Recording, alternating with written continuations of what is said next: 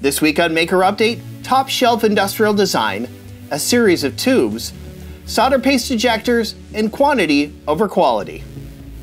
Hello and welcome back to Maker Update, the show where we update you on all the cool stuff that people are making. I'm Tyler Winegarner and I hope you're all doing great. We've got a fantastic show for you, so let's kick it off with the project of the week. When you consider how far 3D printing has come in the last few years, it's no surprise that the ability to make professional looking prototypes at home using off the shelf tools has come right along with it. But that doesn't mean you don't occasionally come across a project that just knocks it out of the park. That's the case with this DIY augmented reality headset by PyottDesign. Electronically, this is the guts of an Oculus Quest 2 in his own custom enclosure and the custom enclosure is really the meat of this design. I don't mean to sell that short in the slightest, because there's so much consideration of design, materials, fit, and function that goes into this project, you just have to marvel at it. If you're anything like me, the enclosure is usually one of the last things you design in a project. once you have a prototype, really just need a box to put it in, protect the electronics, hide the wires, and give us access to the buttons. But there's so much more involved when you need something to fit around your body. And it helps if you can make it look good too.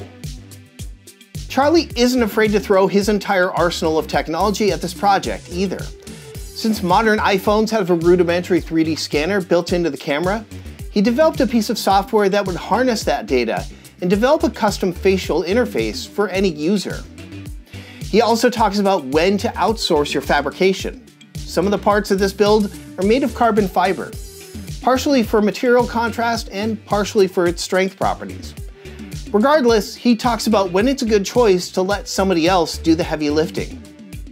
There's a single video that works as an overview of the project now that it's complete. But it's really just the tip of the iceberg. This entire project has been documented over an entire series of videos in exquisite detail. And it's not all the high-tech stuff either. The video series takes you through a sketching process, cardboard previs, experimentation, and more.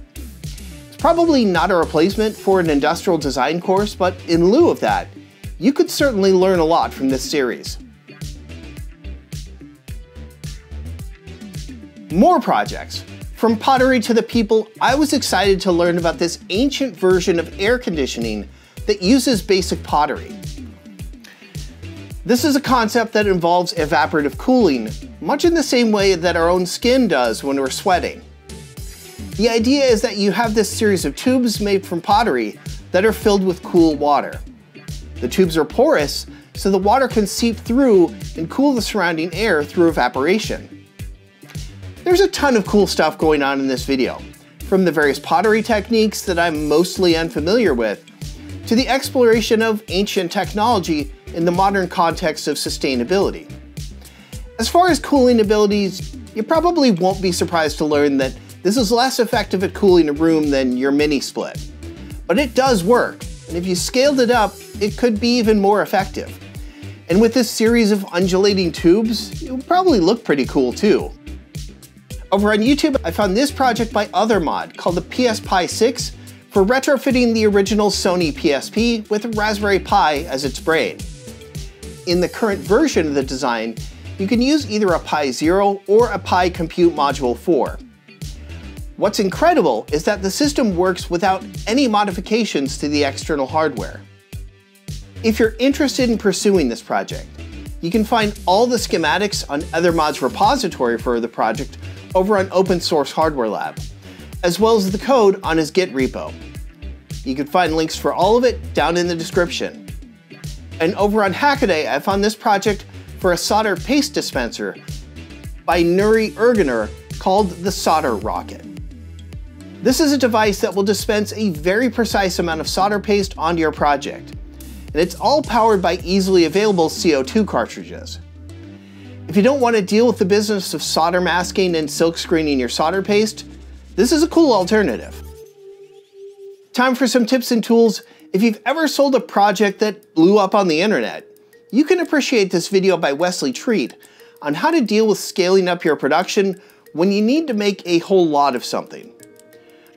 More often than not, your workflow for making a single part just isn't going to work out when you need to make a thousand of them. Wesley's video has tons of ideas for jigs, workflow considerations, optimizations, and even shipping considerations. Chris Borge has a video about his 3D print of the camera Lucida. This is a prismatic viewfinder on an armature that makes it easy to view a subject while also seeing a drawing surface so you can easily trace it. This is a tool of historical renown to help artists replicate what they see, and this device has been a fascination of numerous Kickstarters recently, so this is a good opportunity to explore it on your own. The latest edition of Gareth's Tips, Tools, and Shop Tales newsletter was a great resource of shop tips. The first one I want to highlight and in depth is The Principles of Organization by Van Neistat. This feels like an extension of 10 Bullets by Tom Sachs. There's a ton of great ideas in here. Also, don't miss out on this video of Essential Ladder Safety by the Essential Craftsman. Sooner or later, we're gonna need to climb up onto something. And this is the sort of video that can help save you from a big mistake. For this week's DigiKey Spotlight, we've got a quick look at the reference design resource offered by DigiKey. When you're building a circuit, it's easy to make mistakes when laying out rudimentary circuits. DigiKey's reference designs gives you a drop-in resource for multiple circuit designs to make it easy to integrate into your larger design. Check it out from the links below. Alright, and that is going to do it for this week's show. I hope you enjoyed it or got inspired by some part of it. If you did, let us know about it down in the comments, give us a thumbs up, and hit subscribe with the bell so you don't miss the next one. As always, huge thanks to DigiKey for making this show possible and to you for watching. Take care, we'll see you soon.